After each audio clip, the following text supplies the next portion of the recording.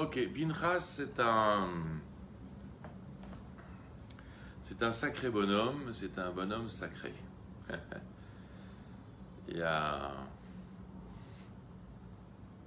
Avant de se concentrer sur son acte, d'accord Tout le monde a, a prié ce Shabbat, euh, entre guillemets, euh, grâce à son acte de bravoure et de courage, il a arrêté l'épidémie. Donc, euh, par son mérite, on a tous espéré que ce Shabbat, que Kadosh Baruch aussi, euh, il va arrêter cette épidémie. On dit souvent que Pinchas c'était Eliaou. Ron? Alors, euh, il faut comprendre pourquoi. Est la relation entre Pinchas et Eliaou Bon, d'abord, une relation intrinsèque, ça veut dire une relation euh, ésotérique euh, au niveau, de, de- au niveau des, des Neshamot, etc.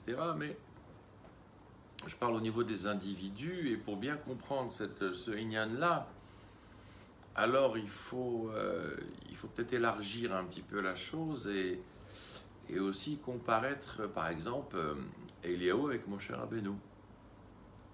Alors, dans, un raisonnement un peu large comme ça, euh, est-ce que Hanavi et Moshe Rabbeinu sont du même niveau? Euh, Pourquoi euh, Comment on peut évaluer la grandeur de chacun? Alors, il va y avoir certaines nuances qu'il va falloir prendre en compte. En tout cas,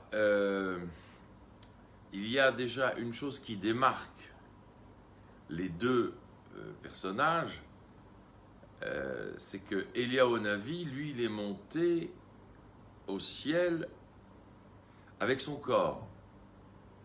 Allah Shamaïma, d'accord? Il est monté au ciel avec son corps. Moshe Rabbeinu a dû être enterré. On ne sait pas où, mais il a dû être enterré. Alors, on pose la question, par exemple, euh, euh, lui, quand il a eu son, acte de bravoure, donc il a été l'alliance qu'il a eue avec Akadosh Hu lui a permis d'accéder au titre de Cohen, alors que à la base c'est un Lévi, d'accord? Donc il accède, au titre de Cohen pour lui et pour ses enfants. Et quand mon cher Rabbeinu, il y a aussi dans, cette paracha l'épopée des, filles de Tzlofrad qui viennent revendiquer leur part, leur terre aussi en Eretz Israël, on en parlera peu plus tard. Mon cher Rabbeinu se dit, tiens, c'est peut-être l'occasion que je demande à Kadosh Hu, que mes enfants aussi, euh, ils continuent ce que j'ai commencé à faire. D'accord? Donc il demande clairement à Kadosh Hu, mes enfants. euh, et Dieu lui dit non. C'est Yeshua. Non. Comment c'est possible? Euh, Si tu dis que Pinchas, il a bénéficié d'être un Cohen et que sa descendance continuera à être Cohen, parce qu'il a calmé la colère de Dieu. Combien de fois, mon cher Rabbeinu, il a calmé la colère de Dieu? C'est un spécialiste. C'est un spécialiste, il a fait que ça. La colère de Dieu contre le Ham Israël. euh, Et comment ça se fait que lui, il ne peut pas donner, entre guillemets, euh, la possibilité à ses enfants de continuer son travail On dit non. C'est le choix. Alors, euh, les questions se posent. Euh, Avec Eliyahu Navi, Eliyahu Navi, il est monté un corps vivant, donc ça veut dire qu'il est monté directement dans, le- dans un espèce de, char céleste comme ça, de feu. Il a rejoint, il a rejoint les, anges. Euh, D'un côté, on voit aussi que Moshe Rabbeinu, euh, trois fois 40 jours, il était aussi dans le ciel et que lui aussi, il n'a pas mangé, il n'a pas bu, il s'est conduit, euh, il avait la même conduite que ont les créatures spirituelles là-haut. Hein, on n'a pas vu qu'il a commandé un, un McDo glad pour manger ou quelque chose comme ça. Euh, alors, le corps, la neshama, qu'est-ce qui est le plus élevé? Il a un avis, sa neshama, son corps. Si le corps a besoin d'être enterré, c'est qu'il a besoin d'être réparé. Si un corps n'est pas enterré, c'est-à-dire qu'il n'a pas besoin d'être réparé. Ça éveille un petit peu des petites questions. Bon, évidemment, ici, on parle de choses qui sont très, très, très, très fines. Hein. On ne parle pas de, choses qui sont euh, des, actions qui sont qui sont énormes ou qui sont grossières ou qui sont d'accord on parle de, raisonnements qui sont très très fins surtout quand on parle de, mon cher Abénou euh, c'est pas n'importe qui. Donc on arrive plus ou moins à la conclusion de dire que euh, mon cher Abénou il a une plus grande élévation par rapport à sa Neshama. Et Eliaou, entre guillemets, un avis, il devrait avoir une élévation supérieure par rapport à son corps lui, il a mérité directement de monter vivant. Alors, le lien, il est comme ça. C'est que il, y a, il y a différents, différentes formes d'influer la Kedusha dans le monde. D'accord? On sait que Moshe Rabbeinu, par le don de la Torah, d'accord, il a provoqué que Dieu y puisse, entre guillemets, on influe la Kedusha du haut vers le bas. Mais d'un autre côté, on voit bien que même si on influe la Kedusha du haut vers le bas, ce n'est pas une solution finale pour le monde. Ça veut dire qu'à partir du moment où Moshe Rabbeinu il a réussi à faire descendre la Torah en bas, du haut vers le bas, ça ne veut pas dire que le monde ne faute plus, que le monde est parfait. il y a encore beaucoup de travail derrière. Donc il y a un autre mouvement qui s'appelle du bas vers le haut. Et en général, du bas vers le haut, ça inclut le rôle du corps. Un travail qui serait du bas vers le haut inclut aussi le corps. Le corps dans la conduite, le corps dans, dans, l'application des mitzvot, d'accord? Si Le corps a un rôle euh, primordial dans l'application des mitzvot, d'accord? Tout élément, euh, toute injonction est en relation directe 90% avec le corps. D'accord Si je dois mettre les téphilines, si la maman elle doit faire la frachat c'est un donc on a besoin du corps. Donc ça veut dire que du bas vers le haut, il y a aussi une grande importance. Et peut-être même que euh, sans ce mouvement du bas vers le haut, alors à quoi ça sert qu'il y ait un mouvement du haut vers le bas? Parce que le mouvement du haut vers le bas, il est spirituel. Le mouvement du bas vers le haut, il est matériel, mais l'objectif c'est de l'élever à un niveau spirituel. Donc, la relation ici, on peut dire entre guillemets, toujours je répète et je souligne, c'est une, analyse vraiment dans une très très grande finesse, d'accord? C'est la taille d'un cheveu, on ne parle pas de choses grossières quand on dit que Moshe euh, lui, il a une supériorité de l'âme et qu'elle a un avis, il aura la supériorité au niveau du corps, évidemment. Puisque même Moshe, quand il est né, la, la chambre s'est remplie de lumière, etc. Donc on ne parle pas de choses. Le fait est que le fait d'avoir besoin d'être, entre guillemets, mort et enterré, ça implique une réparation. D'accord? Alors que un avis, il est monté avec son corps. Donc la relation entre Pinchas et Eliaou, elle est claire. C'est une relation physique, une relation du corps. Ça veut dire que la réparation que euh, Eliaou et que Pinchas ont engendré ici, bas dans le monde, c'est une réparation du bas vers le haut. D'accord? Ça veut dire une réparation, une élévation qui implique la conduite du corps. Bon, chez Pinchas, c'est clair et net. Il a embroché deux personnes, euh, c'est un, un, acte, euh, un acte de Messirut Nefesh, d'accord? C'est un acte assez sérieux. C'est pour ça qu'il bénéficie d'une bracha. Et donc, Eliaou et Pinchas, ils ont les deux cette force, d'accord, d'avoir réparé, entre guillemets, le corps. Chacun à sa manière. Euh, le fait qu'il soit monté, lui, avec son corps entier dans le ciel, ça veut dire que durant toute sa vie, il a œuvré sur son corps. Ça veut dire quoi sur son corps? Ça veut dire qu'il a les besoins de son corps étaient largement secondaires, donc il a réparé son corps par rapport à sa, à son rôle spirituel dans le monde. Mais là, on dit que euh, quand il a dit à Boréolam, voilà, tes enfants ne font plus la brite. Et Boréolam n'a pas aimé quand il a dit ça. Il a dit, maintenant que tu dis ça, tu vas aller dans toutes les brites de mes enfants. Tu vas assister. Alors là, hein, il a fait monter corps et âme, mais il descend, il va dans chaque brite, de là à là, de là Ouais, à là, de ouais, là, ouais. De là, par- On montre bien, donc ça montre bien qu'il a un rapport avec le corps. Il a, donc il a un rapport avec le corps, sa réparation, mais ça c'est, euh, c'est pas évident, c'est pas évident de, de- porter un jugement. hein. Non, Non, non, je, non, mais je veux pas vous faire de problème avec Eliaou, non, vous pas, non, je, je suis pas là pour. hein.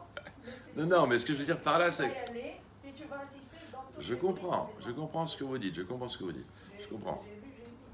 Je comprends ce que vous dites, je comprends. Donc, Eliaou Hanavi, en vérité, il a ici un rapport de renforcer l'alliance. D'accord? L'alliance avec les enfants d'Israël et Dieu.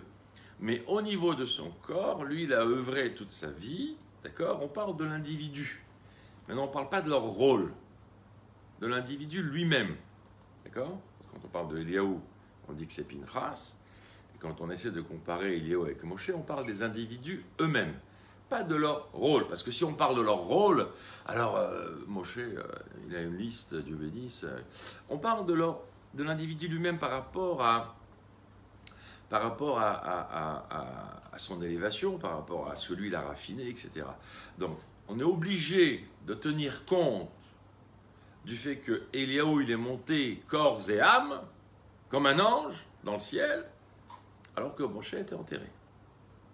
C'est pas une chose qui est commune, d'accord, de monter dans le ciel comme ça. Enfin, moi, j'en connais pas. Mais non, peut-être vous en connaissez vous, je sais pas. À l'occasion, on fera une excursion. Donc, le cordonnier aussi. Samdan. Il y a le cordonnier aussi qui est monté. le cordonnier, Oui, il y avait un cordonnier aussi que à chaque fois qu'il pourquoi il est monté Parce qu'à chaque fois qu'il réparait une paire de chaussures, il disait, il priait à cette per- il priait pour cette personne. Eh bien, tu iras loin avec cette paire de chaussures, que tu la porteras en bonne santé. Mhm. Et voilà, il prie, il prie, il prie. Bon, peut-être que vous vous rappellerez le nom après. Alors, attendez, attendez. Il faut que je reste concentré, parce qu'après, je vais perdre le fil. Non, parce que je, non, j'ai- plus 20 ans, donc après, j'oublie. hein, donc, c'est bien. Alors, donc, le, le- le phénomène, je me concentre sur une Nekuda. C'est bien important de comprendre la relation qu'il y a entre Eliaou et Pinchas, qui eux ont mis, on va dire, le- le- on souligne le phénomène du bas vers le haut, donc qui tient compte du corps. Ça veut dire que le phénomène de l'action, le phénomène du corps qui vient réparer. Alors que chez Moshe Rabbeinu, c'est plus le phénomène de faire descendre, le phénomène de la Neshama, qui fait descendre l'influx du vin- l'influx l'influx divin dans le monde. Et c'est important de comprendre parce que on va de là, on va comprendre le phénomène du goral. D'accord? Pourquoi le goral? Parce que vous savez que dans la Torah, il est écrit que les Lévi'im n'ont pas le droit à une part de la terre d'Israël. Donc, euh, alors de là on comprend que Pinchas était un Lévi, il est devenu Cohen, mais les Lévi'im en général n'ont pas le droit à une part de la terre d'Israël. Et donc là on arrive devant la terre d'Israël, et à ce moment-là, hum, donc on commence à voir déjà le, le paysage, etc. Et euh, Dieu, il ordonne à Moshe et il lui dit Tu vas commencer à faire la répartition de la terre d'Israël, qui n'a pas encore été conquise, hein, puisque nous sommes encore à l'extérieur de la terre d'Israël. Donc tu vas commencer à faire la répartition de la terre d'Israël par le biais du Goral. Je répète, la répartition qui n'a pas encore été, de, de la terre qui n'a pas encore été conquise. Et donc, par rapport à l'affirmation de Dieu, on a le sentiment que chacun va recevoir une part, de la terre d'Israël. Évidemment, il va y avoir certains critères, d'accord, dans une certaine logique. Les critères vont dire que une tribu qui est plus peuplée qu'une autre, donc elle aura un plus grand terrain. Maintenant, ce plus grand terrain, on ne peut pas lui donner le terrain le plus riche. Une tribu qui est plus petite, on va lui donner un plus petit terrain, mais ben, peut-être avec un terrain un peu plus riche.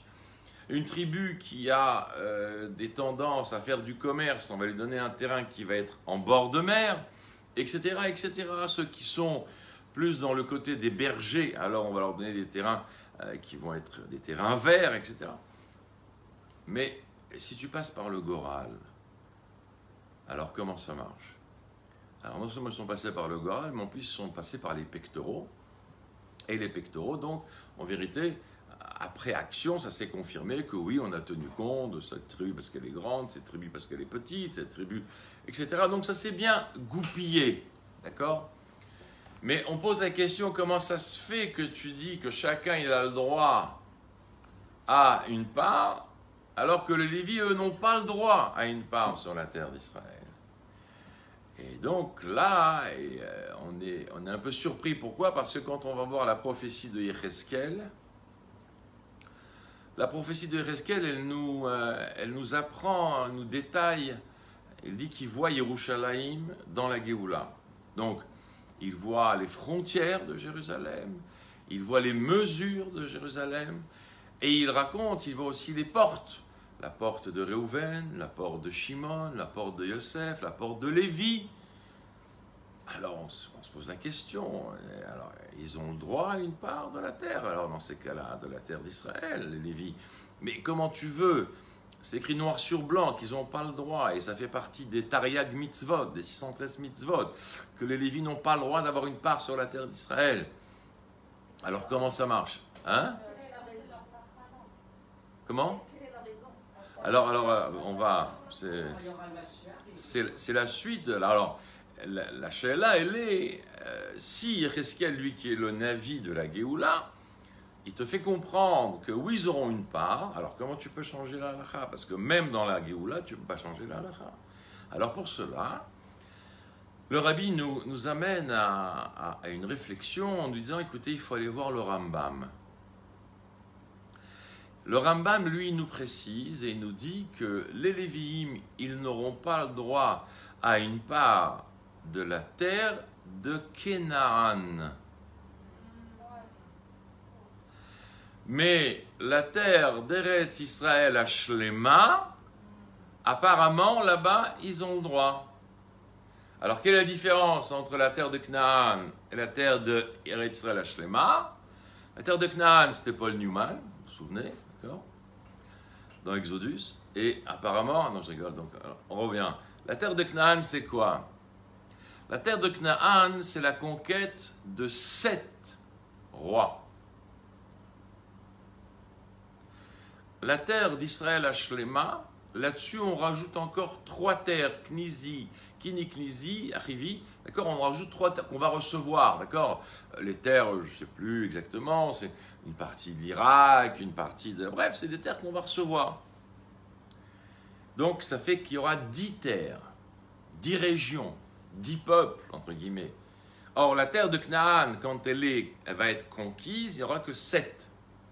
Sur ces, cette terre-là de Canaan, les Lévis n'ont pas le droit.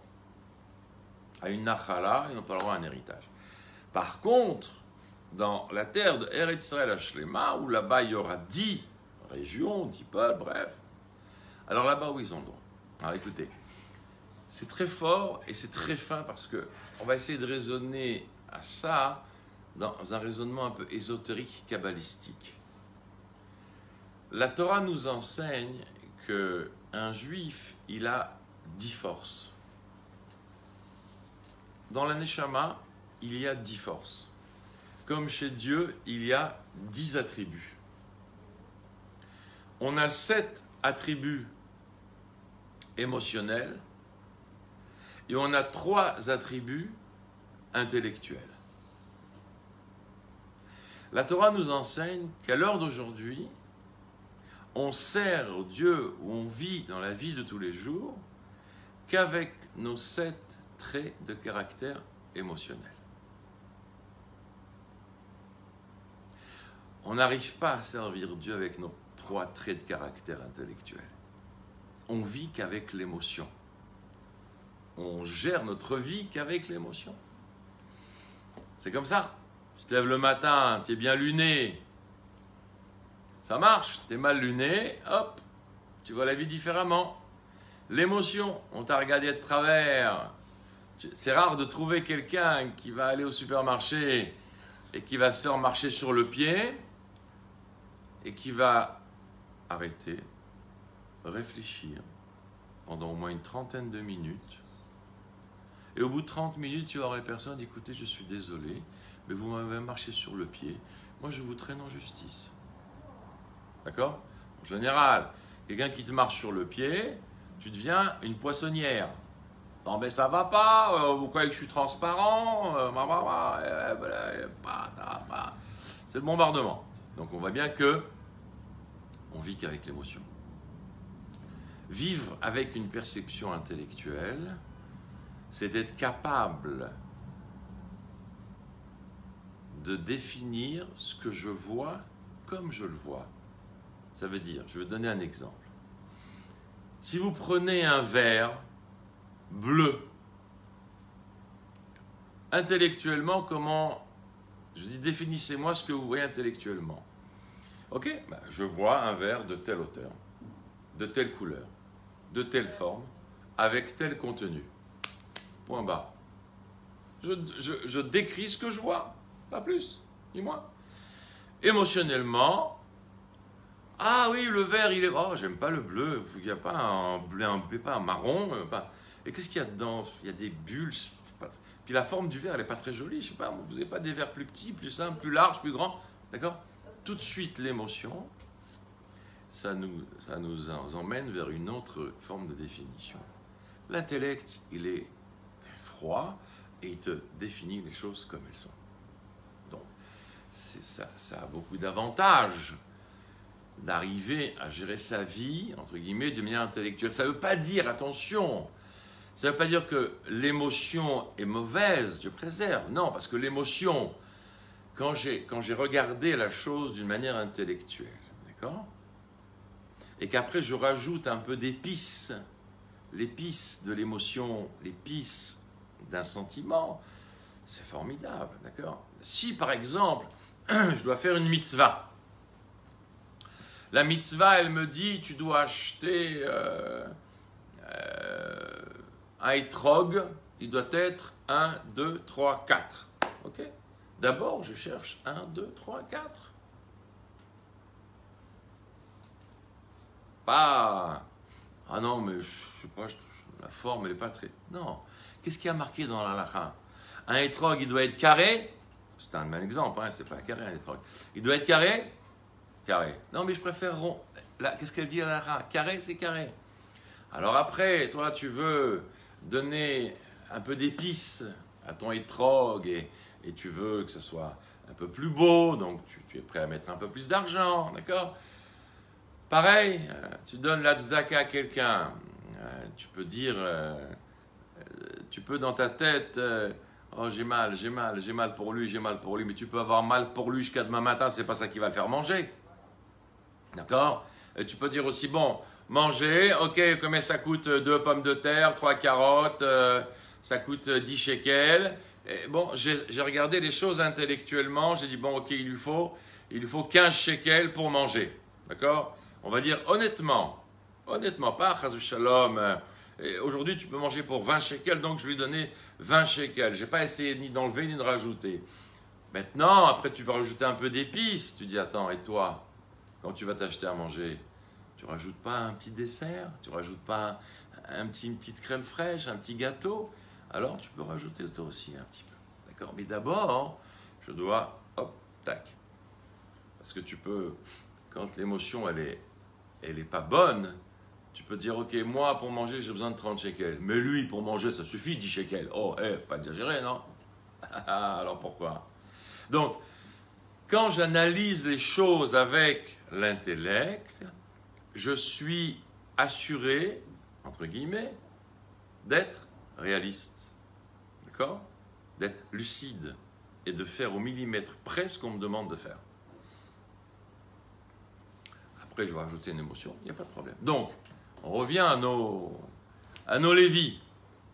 Donc, il est clair que dans la gestion intellectuelle, la connaissance de Dieu, d'accord dans la recherche de s'attacher à Dieu, alors la compréhension, euh, euh, la réflexion est très importante. D'accord? Quelqu'un qui ne réfléchit pas comment il peut s'attacher à Dieu, il faut qu'il comprenne un petit peu, même s'il ne comprend pas, mais un petit peu, ou qu'il réfléchisse un petit peu. Parce qu'aujourd'hui, il a l'émotion de faire. Mais demain, s'il a l'émotion de ne pas faire, alors il va trouver une bonne raison de ne pas faire. Par contre, s'il a bien compris que c'est important de faire 1, 2, 3, 4, il a bien compris, bien, bien, bien, bien, bien compris. Je vais vous donner un exemple encore plus flagrant. Vous prenez un pneumologue, d'accord? Un pneumologue, par définition, c'est quelqu'un qui maîtrise son sujet. Il connaît le fonctionnement d'un poumon, il sait ce qui peut détériorer un poumon, et il sait ce qui peut soigner un poumon. Donc intellectuellement, il maîtrise son sujet à 100%. Mais euh, qui nous dit que ce n'est pas un fumeur Donc ça veut dire que si c'est un fumeur, ça veut dire que il a compris une chose, mais il n'est pas identifié avec cette chose-là. La vraie réflexion intellectuelle, c'est de comprendre une chose jusqu'à que je sente que cette chose-là, elle a un lien avec moi et que moi, j'ai une part dans cette chose-là. Donc si j'analyse une mitzvah, si je comprends que sans cette mitzvah, je ne peux pas m'attacher à Dieu, d'accord? Si je ne m'attache pas à Dieu, donc je ne m'attache pas à, la vie, puisque s'attacher à Dieu, c'est s'attacher à la vie. Dieu, c'est ma vie, la vitalité. Donc si j'ai bien compris ça, je ne peux pas, entre guillemets, laisser passer une mitzvah sans la faire. C'est comme si je laissais passer une pochette de vie, d'accord, sans en profiter. Donc si j'ai bien compris que c'est ça, alors dans ces cas-là, je comprends que je ne peux pas rater de faire une mitzvah. Maintenant, si je veux rajouter un épice, alors je ferai cette mitzvah avec amour. Donc, vous voyez la différence. Alors ça existe aussi dans le service divin, au niveau par exemple de la tribu de Lévi. Au niveau de la tribu de Lévi, son niveau intellectuel, son niveau de Kedusha, d'accord C'est pas suffisant pour elle de servir Dieu dans le cadre des sept pays, des sept régions dans Eretz Canaan c'est un niveau trop bas spirituellement. Par rapport à son niveau, alors il faudra qu'elle attende l'avènement messianique, lorsqu'il y aura la possibilité de servir Dieu avec les dix traits de caractère, aussi bien intellectuels que émotionnels, mais cette fois-ci dans l'harmonie totale. Qu'est-ce qui fait que l'émotion, ça peut emmener quelqu'un à faire des bêtises? C'est parce que il y a du Yetzera. Le jour où il n'y a pas de Yetzera, alors l'intellect et l'émotion, ils peuvent ensemble, main dans la main, servir Dieu. Et là, dans un niveau des plus élevés. Donc c'est pour ça que le Rambam, lui, nous dit qu'on ne peut pas, il faudra attendre l'avènement messianique. Et donc, quand on dit que la tribu de Lévi a le droit à une part en Eretz Israël, elle a le droit à une part en Eretz Israël à Shlema, parce qu'à ce moment-là, elle pourra avoir un rôle complet et parfait dans son service de Dieu, matériellement et spirituellement, intellectuellement et émotionnellement. Alors les Kohanim, ils sont inférieurs, on les dit? Alors, il y a, une, il y a une, euh, une version comme ça dans l'avènement messianique, oui. Ben, je vais vous dire pourquoi les Kohanim, entre guillemets, euh, c'est nouveau. Pourquoi c'est nouveau? Parce que à l'époque, qui c'est qui devait servir dans le temple? C'était les Bechor. C'était les aînés. Mais les aînés, ils ont été punis. Parce qu'ils ont fait des blagues avec le d'or. Comme ils ont fait des blagues avec le d'or, alors Dieu leur a dit, ok, eh ben vous ne servirez pas. Dans l'exil. Mais il est écrit que dans l'avènement messianique, les Bechorot vont revenir à servir. Et on va voir que les Lévis, en vérité, ils sont quelque part plus élevés que les Kohanim. Bon, alors ce sont différentes versions. D'accord? Mais d'un autre côté, bon, on va bien trouver une solution pour s'arranger entre nous. On va pas se fâcher hein, pour, euh, pour une vache ou deux. Donc, euh, on trouvera le moyen de contenter tout le monde. En tout cas, c'est très intéressant de voir que la Torah donne aussi un aspect euh, kabbalistique et ésotérique à la, position des Lévis, qui ne peut pas être exploité à 100% pendant l'exil, mais qu'il sera lors de l'avènement messianique. Et de là, on peut tout de suite se connecter avec le phénomène du Goral. Qu'est-ce que c'est que ce Goral? Est-ce que le Goral, c'est une chose que on peut faire encore aujourd'hui? Est-ce que c'est fiable? Est-ce que nous avons des sources par rapport aux différents Gorals qu'il y a eu dans l'histoire? Alors on raconte, pour bien comprendre un petit peu tout ça, on raconte, Dieu préserve un, monsieur qui a, beaucoup d'enfants et qui a besoin besoin d'un implant d'un rein. Un monsieur diabétique de préserve, mais bon, il a besoin qu'on lui implante un rein. Et là, les enfants, le, le, Bechor, il dit non, non, non, c'est moi qui vais donner, c'est moi le Bechor. Euh, l'autre, il dit non, non, mais c'est moi qui m'occupe de mon père, donc c'est moi qui vais donner. Et l'autre, il dit non, mais moi je suis pas marié, donc c'est moi. Qui... Ouais. Bah, au Hachem, quand ça se passe comme ça, je veux dire, euh, hein, ça c'est dans les, meilleurs cas. Hein. Alors, ensuite, il y a, on dit, quoi, on va faire un goral. On va faire un goral. Alors, il ne faut pas confondre le goral et la loterie. Parce que le, le Goral, en vérité, c'est par exemple, euh, s'il y a 10 enfants, alors tu mets 10 pétecs avec les 10 noms. Et là, tu mets, de l'autre côté, tu mets 10 pétecs, dont un pétec qui est marqué Zoché. Donc quand tu sors, tu sors à chaque fois deux pétecs. D'accord? Ensuite, la loterie, par contre, tu mélanges, tu mets ta main et tu sors. D'accord Donc c'est pas, c'est une loterie, c'est pas, c'est pas un goral. Et c'est très important parce que c'est comme ça que ça se passe au Pétamikdash. Vous savez, quand on tirait euh, le Goral, au Goral, le, bélier, le bouc, d'accord, ce qu'on appelle le bouc émissaire. Alors c'était deux ptakim qu'on tirait à chaque fois.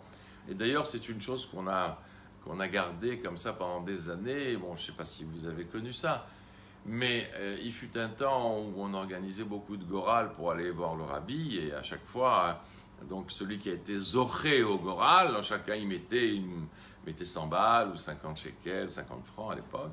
Et donc, euh, s'il y avait 50 participants, donc il y avait 50 noms, 50 papiers, et 50 papiers blancs, dont un où il y a marqué euh, Zoché. Hop, on tirait comme ça. Comme ça se faisait au Betamigdash. Comment? Oui, oui, oh, ça ne durait pas très longtemps. Hein, euh, ça va vite, hein, je veux dire, on va pas. Oui, c'est tic-tac. Bon, enfin bref, c'est la meilleure façon de faire un Goral. D'accord? Donc, euh, alors, la là, elle est, quand les enfants, ils veulent donner un rein, donc on fait un goral. Et moi, je vais vous poser une autre question. Dans une usine, il y a des vols. Donc, on va faire un goral. On va faire un goral pour savoir qui est le voleur. Voilà, vous êtes d'accord là?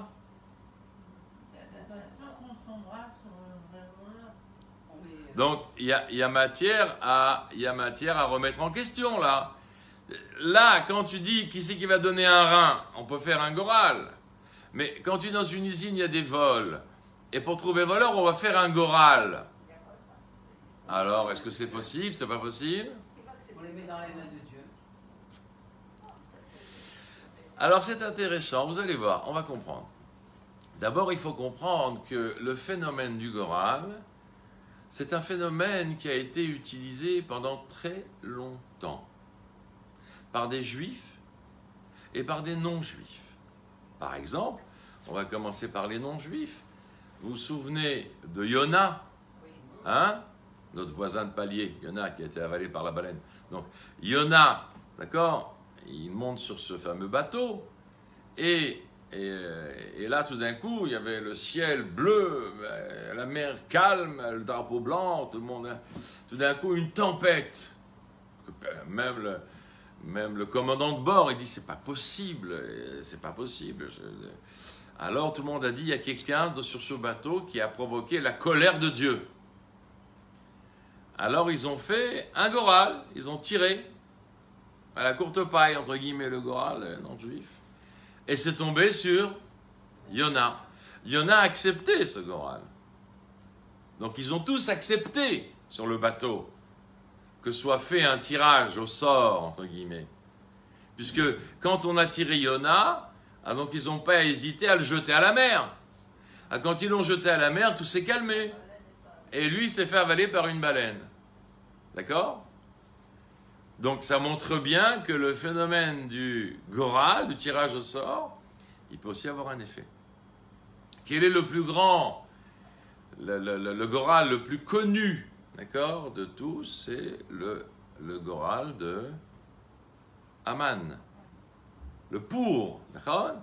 Aman, il tire au goral, quand est-ce qu'il va, Shalom, exterminer le peuple d'Israël Donc c'est un vrai goral.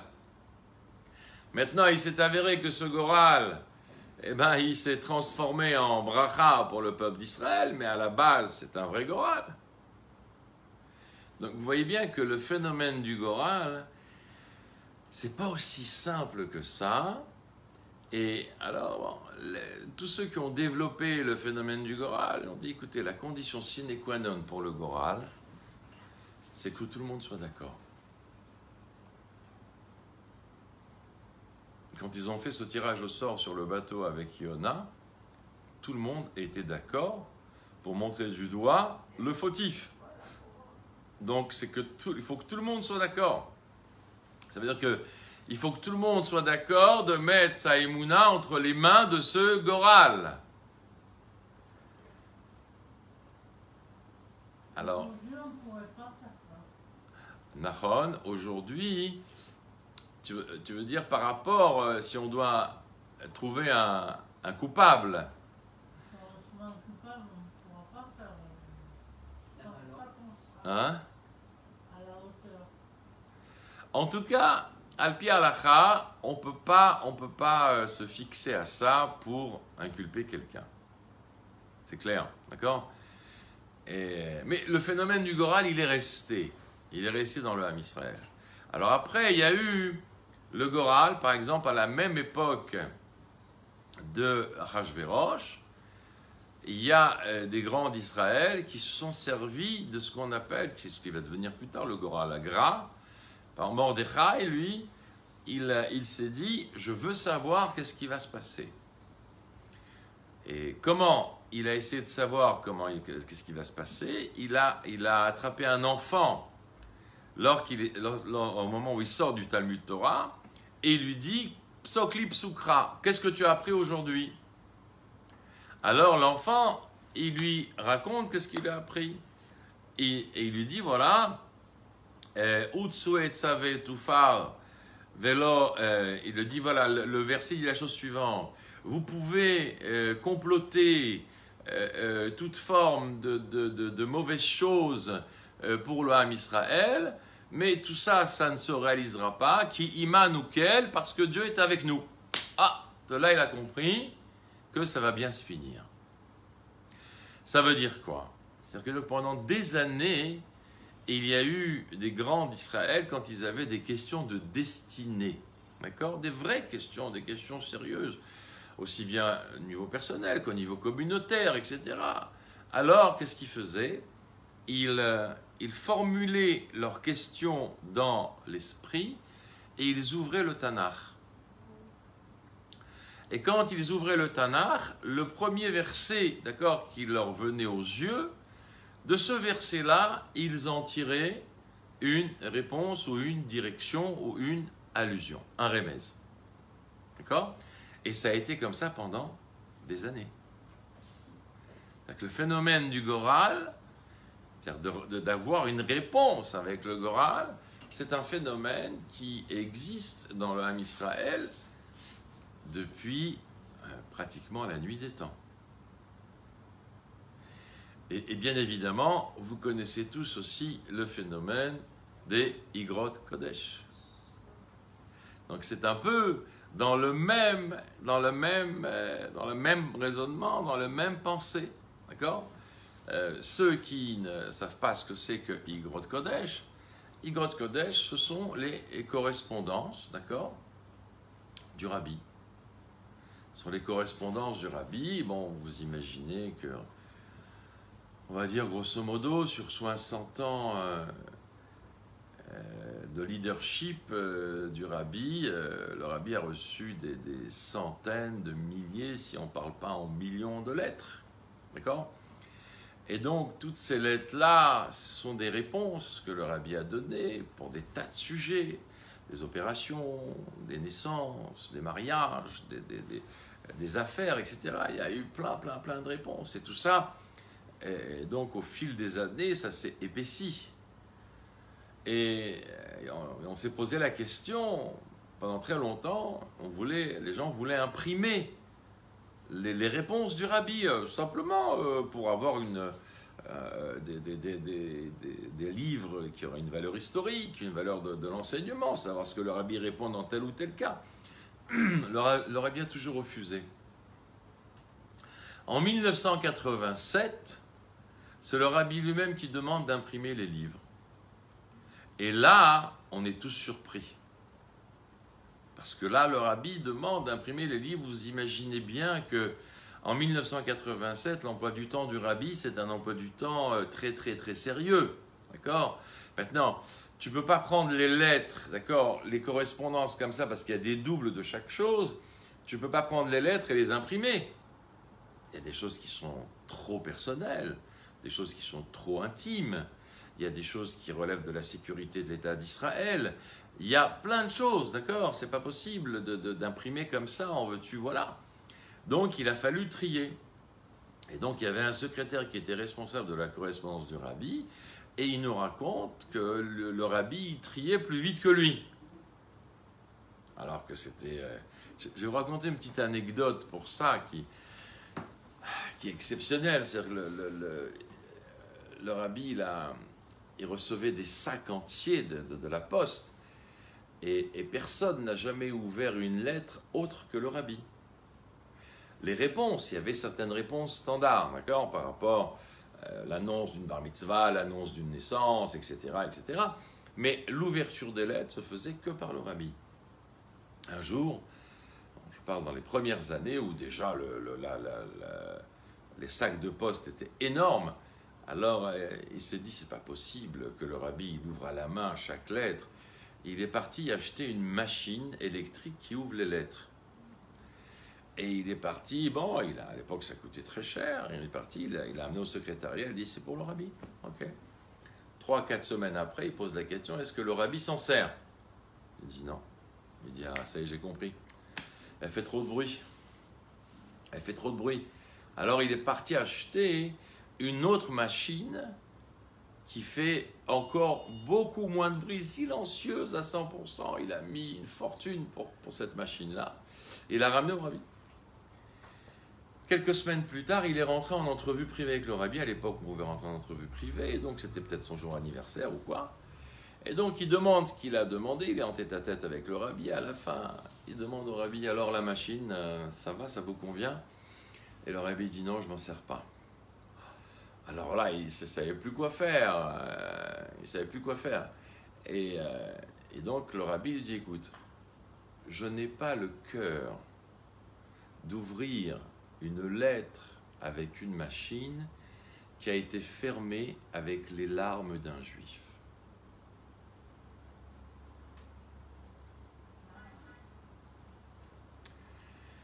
Quand les gens ils écrivaient au rabbi, il y avait des cas très difficiles et les gens, certainement, ils ont versé beaucoup de larmes avant de fermer cette lettre. L'image, elle est magnifique. Un juif, quand il demande une bracha au rabbi, il ferme la lettre avec ses larmes. Il dit J'ai pas, pas le cœur que ce soit une machine qui l'ouvre. C'est moi qui dois l'ouvrir. Donc, pour vous dire, et donc après ces lettres, d'accord, on fait sujet de beaucoup de questions, comme vous savez aujourd'hui, que tout celui qui est ma'amine, d'accord, en réalité c'est une question des tout celui qui est ma'amine, que Akadosh Hu, il peut passer par le tzaddik pour répondre, alors euh, il le fait honnêtement, sincèrement et avec, euh, avec pureté. En vérité, ce n'était pas un vrai chidouche parce que le rabbi a dit plusieurs fois, vous savez qu'à l'époque, quand les juifs étaient en URSS et qu'ils étaient dans les pogroms, mais on ne pouvait pas ni écrire au rabbi, ni envoyer des fax, ni téléphoner, ni rien du tout. C'était hermétiquement fermé, d'accord, la Russie. Alors, rabbi dit, quand, vous voulez me, demander quelque chose, vous écrivez la lettre et vous la mettez dans un de mes livres. Ils arrivaient à faire passer d'une manière clandestine des livres du rabbi des livres de Torah, etc. Et donc il mettait. Et il y a une grande histoire, une histoire très connue d'un, grand, d'un grand qui lui était responsable des Talmud et Torah en URSS. Je, je- je parle des Talmud et Torah euh, c'est sous la dominance soviétique, hein, bolchevique. C'est, quoi un Talmud C'est trois gosses qui étudient dans une cave, c'est deux gosses qui étudient dans un grenier, et avec des distances, des milliers de kilomètres qu'il fallait parcourir dans toute la Russie, et ils ramassaient de l'argent pour donner aux professeurs, aux instituteurs, ne lâchez pas le morceau, tenez, prends un peu d'argent et continue, continue pour maintenir la vie juive, même avec deux ou trois gosses. Donc c'était pas, hein, c'était pas. Et donc un jour il a été arrêté. Et lui, il connaissait le rabbi précédent, il ne connaissait pas notre rabbi aujourd'hui actuel. Et il a été arrêté dans des conditions terribles, il était mis dans un goulag. Et un jour, il a levé les yeux au ciel, il a dit Rabbi, je ne te connais pas, j'ai jamais vu ton visage, mais je te supplie de me sortir de là, etc. etc. Et euh, imaginez-vous, bon, à l'époque, il y avait des, euh, relations, la communauté euh, Chabad avait déjà des relations aux États-Unis, donc ils ont fait pression par le biais de pays européens, parce que quand même, le bonhomme, c'était pas n'importe qui. C'est quelqu'un qui, qui a voué toute sa vie à, donner un peu de Torah à des enfants perdus sur un, terrain qui, comporte des centaines de milliers de kilomètres. Et donc, ils ont réussi à le faire sortir peut-être huit mois après. Quand il est sorti huit mois après, il a rejoint sa famille à Londres. Quand il a mis le pied dans la maison de ses enfants à Londres, sa femme lui a donné une lettre du rabbi. Tu l'as reçue il y a sept mois.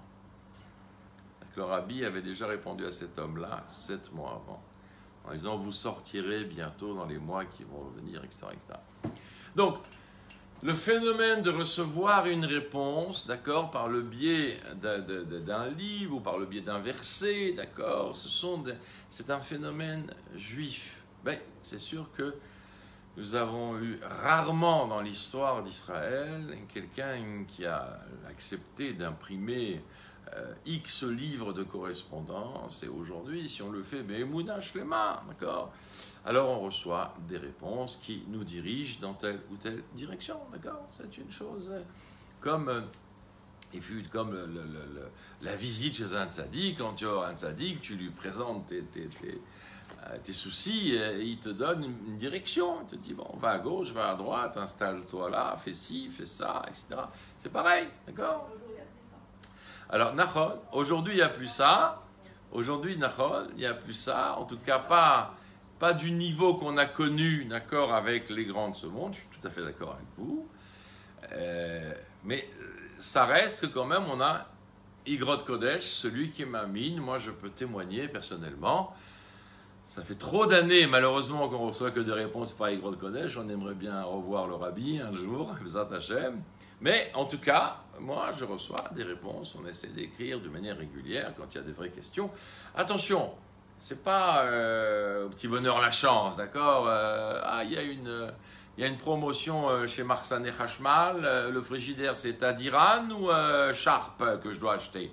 Bon, il faut, d'accord, il faut rester dans des questions sérieuses et après concertation, d'accord Euh, Une fois que je me suis concerté avec quelqu'un, un arabe ou quelque chose, quelqu'un qui connaît un peu le sujet, et on n'est pas arrivé à trancher la chose, alors on peut, oui, on peut demander au, au rabbi et quelle direction il faut prendre, etc.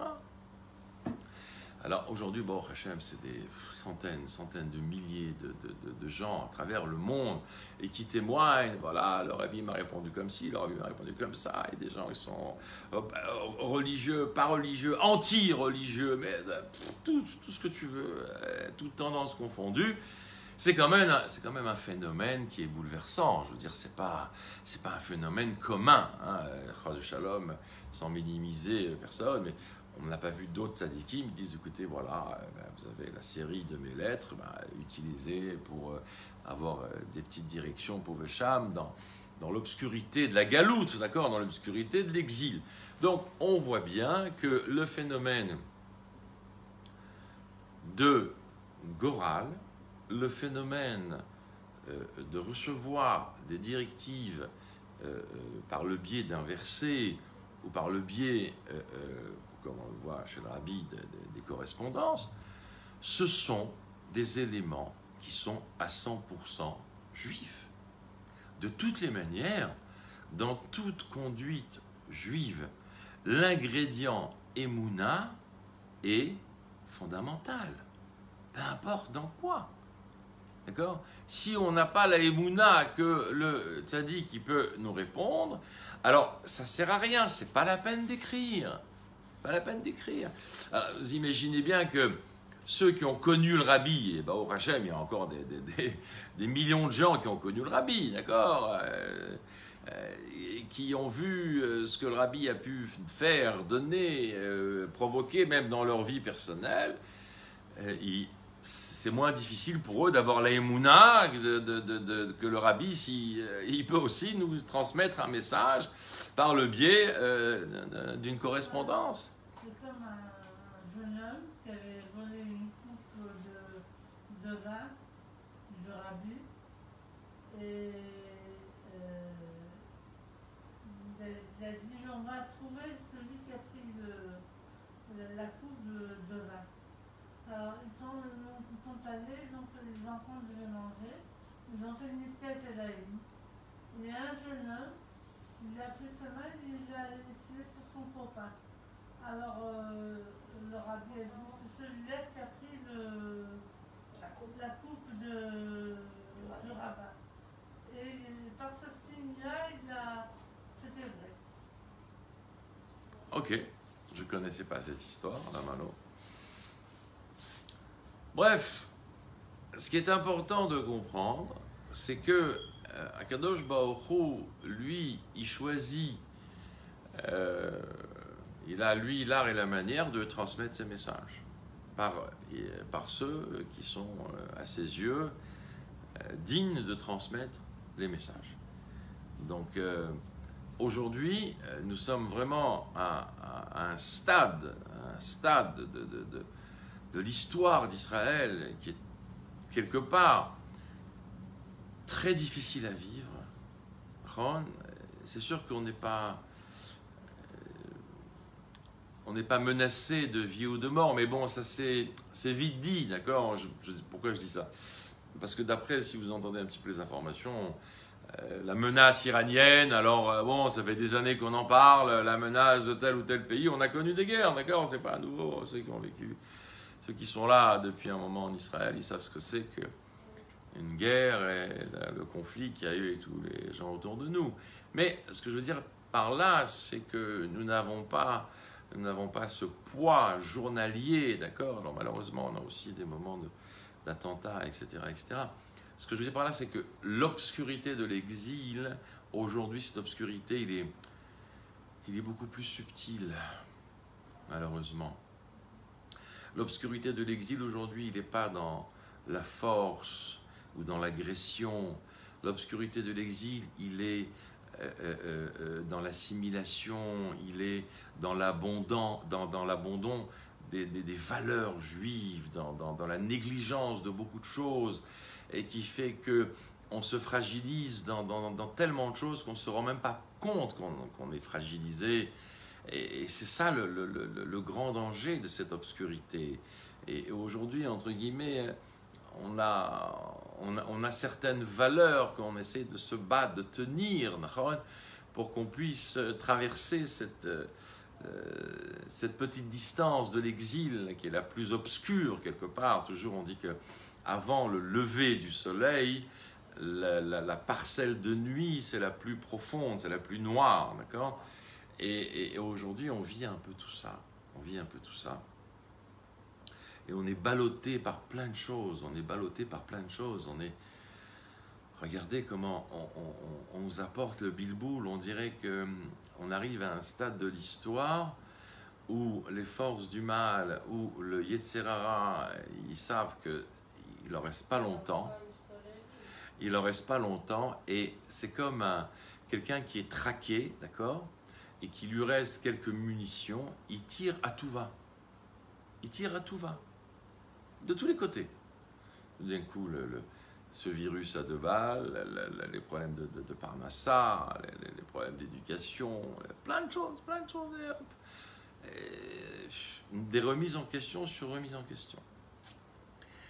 Alors, quelque part, peut-être que ça a un caractère positif, ça veut dire qu'il faut savoir se recadrer dans le sens où quelle est ma place, quel est mon rôle, euh, est-ce que j'assume ma responsabilité? Bon, ça c'est une chose que chacun il doit faire, chacun doit y avancer.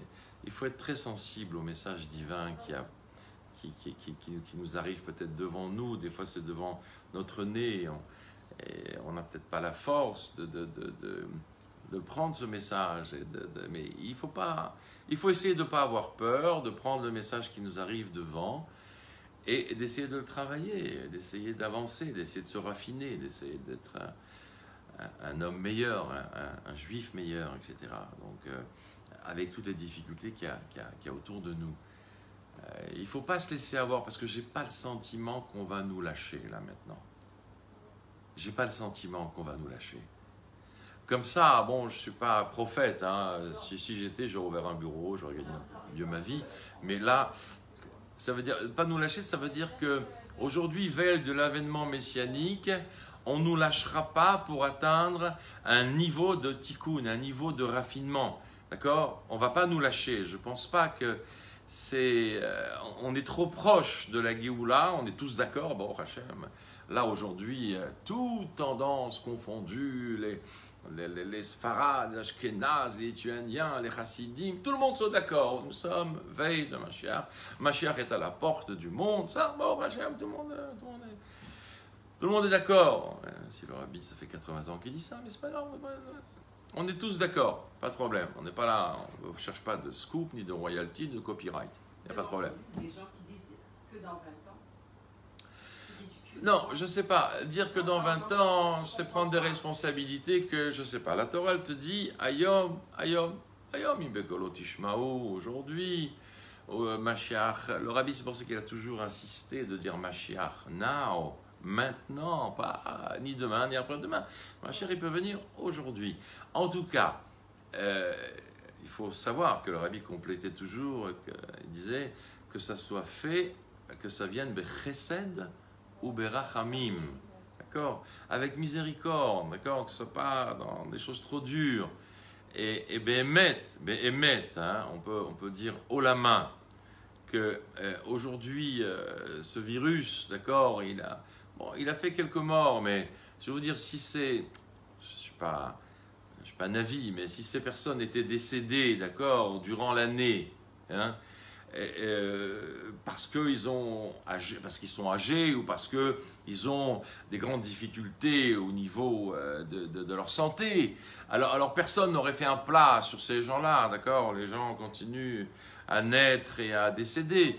Euh, par rapport aux chiffres des décès, on est et même là, on peut dire haut et fort que l'impact du virus, il est beaucoup, beaucoup plus faible, beaucoup plus faible en Israël en tout cas, je ne sais pas dans le monde, mais en Israël, il est beaucoup plus faible que la première, euh, la première, euh, euh, la première vague de, ce virus. On dirait qu'il est largement affaibli il y a plus de contaminés aujourd'hui. Oui, mais c'est non, mais il y a plus de contaminés parce qu'il y a plus de bdicotes, il y a plus de tests, c'est tout. Mais c'est pas vrai. Il y a toujours autant de contaminés. Seulement, il y a beaucoup de porteurs qui le sentent même pas. Les enfants ne le sentent pas. Moi, j'ai mon beau-frère aujourd'hui. Il a, il a eu le virus. Et bon, il a dit j'ai des maux de tête, je suis faible, je dors, euh, euh, j'ai perdu le goût et l'odorat. Mais Baruch Hashem, pas plus. quoi. C'est un homme de, de plus de 40 ans, ça va, ça passe. quoi. Euh, c'est pas sympa, mais c'est euh, ok. Euh, Par contre, sa fille de 17 ans ou 18 ans, elle a eu, et son autre fille de 12 ans, 13 ans, elle a eu celle de 13 ans. Alors, euh, elle est, elle est positive, mais alors euh, elle souffre de rien. Euh, celle de 17 ans, elle a aussi des maux de tête, etc. Donc, c'est pas. C'est. Non, c'est- c'est un, virus qui se diffuse aujourd'hui. Non, euh, Non, non, non. Bon, je sais pas la, la nature d'où il vient. Il était importé. En tout cas, le virus aujourd'hui, il est en train de se fragiliser. Apparemment, hein, c'est ce que c'est ce que tout le monde dit. Donc c'est pour ça que on évite tout confinement euh, à 100%. Euh, mais euh, les, les- on va dire que c'est c'est une forme aussi de recède. D'accord? C'est une forme aussi de recède d'en haut. Euh, que ça soit pas aussi euh, agressif, aussi dur, d'accord Parce qu'il y a des pays où ils ont vraiment subi, euh, ils ont eu le, même virus, mais qui était beaucoup plus agressif. C'était quelque chose de, terrible. Moi, je connais deux personnes, un responsable des urgences de, la réanimation à l'hôpital de Bnebrak, il a son frère qui est responsable de la réanimation dans un hôpital parisien ou de banlieue. Ils se parlent, ils disent très clairement, la- le, virus est beaucoup plus agressif en route la arrête que en Eretz Israël. Et chacun, il détaille par rapport aux cas qui, sont des cas qui vivent tous les jours. Mayane et Oshua, ils ont annoncé, euh, donc l'hôpital de Bnebrak, 20% des femmes qui accouchent ont le virus. Mais elles ne sont pas en danger, Baruch Hashem, mais elles ont le virus. Alors, ah ben oui, mais ça y est, maintenant ça se diffuse, parce que maintenant, je veux te dire, ils font des tests.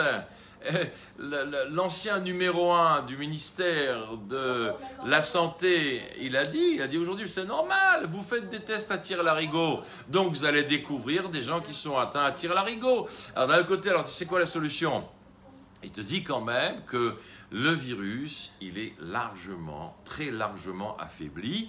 Et c'est normal que tu vas découvrir des gens qui sont contaminés, mais malgré tout, ces gens, entre guillemets, sont pas en danger de mort. Et Dieu préserve, bon, c'est sûr que, je vais vous dire, euh, vous avez jamais entendu parler de quelqu'un qui va à l'hôpital, une personne assez âgée, et que malheureusement à l'hôpital, il y a tellement de virus que euh, après qu'il ait subi une telle ou telle opération, il a attrapé une pneumonie parce qu'il y avait le virus qui se baladait euh, dans l'étage et malheureusement, il est décédé de cette pneumonie. Il n'est pas décédé de l'intervention chirurgicale, il est décédé de la pneumonie. Alors, euh, alors qu'est-ce qu'on va dire maintenant C'est très possible que c'est un peu ce cas-là. Alors que Dieu, que Dieu fasse que on sorte un petit peu de, tout ça, mais la là, on sort avec quoi? Il y a beaucoup qui disent qu'ils ont leur façon de regarder la vie, regarder ce monde. Que quoi? Ils ont une autre façon de, de regarder ce monde avec qui se passe. À à l'éveil, à l'éveil. Bien sûr qu'il faut une autre façon de regarder les choses. Mais regardez comment ça tourne, regardez la haine qui vient, qui monte, qui gronde comme ça. Pourquoi? C'est pas facile à vivre ça, cette haine-là. En vérité, c'est une réparation que nous devons encore subir, encore un raffinement, encore un tikkun, mais Admatai et tout ça. Seychelles Ouais, en Israël, il y a la haine, il y a une haine qui naît, euh, on monte toujours du doigt le, religieux, etc., etc. Admata, je veux dire, euh, quelle est la raison pourquoi on doit faire ça? Je sais pas, c'est... Hein?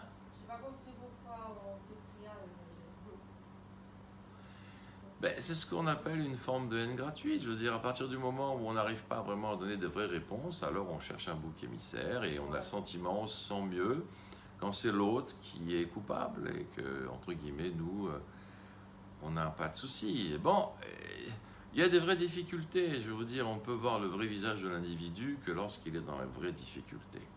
Aujourd'hui, il y a des vraies difficultés dans la société. Et ces difficultés, les engendrent que euh, il y a un visage qui va se dévoiler de cette difficulté. Alors la la Sheila, est-ce que cette difficulté, si elle n'est pas imbibée d'un peu des mounas, ça, ça- dévoile un visage de, souffrance, de haine, de,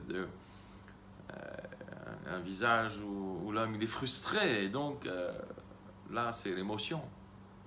C'est l'émotion à 100%. Et cette émotion-là, malheureusement, elle provoque des, conduites et des réactions qui sont terribles. Elles sont terribles.